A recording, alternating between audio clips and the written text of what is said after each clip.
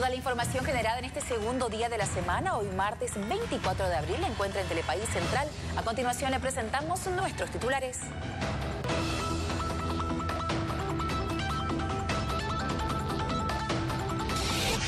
Roban 30 mil dólares. La policía trabaja para poder dar con el paradero de los autores del atraco al bus en el que venían los menonitas al que les fue arrebatado el dinero. El bus era procedente de la comunidad de Tres Cruces. Cocaína en Palmasola. Esta tarde sorprendieron a una mujer metiendo una bolsa de panes que dentro contenían sobres de sustancia con las características de la droga. Esto dentro del penal de Palmasola. La mujer fue detenida con fines investigativos. Traslado de mercados. La presidenta del Consejo lamentó las declaraciones de algunos gremialistas que no quieren trasladarse. Anunció que los traslados se realizarán sí o sí y que todos deben reordenarse.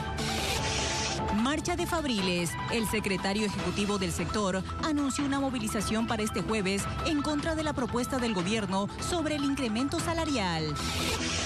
Piden cumplir el acuerdo. El magisterio urbano acudió a la brigada parlamentaria para pedir se respete lo suscrito con el Ministerio de Educación. El sector no descarta volver a movilizarse.